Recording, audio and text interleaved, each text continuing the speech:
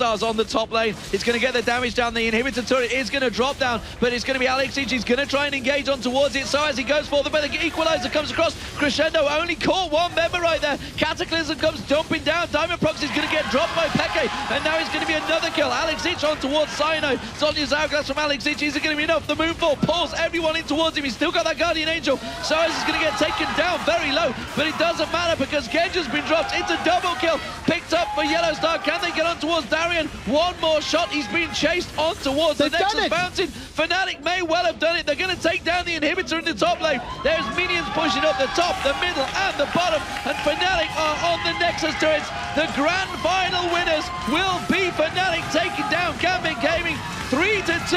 What a fantastic performance from Fnatic. They finally win out on the blue side. Look at the excitement. They have done it. They bucked the trend. They broke the blue side veil. They picked what a way to bring it home. Fnatic have lost their minds. They are jumping. They are screaming.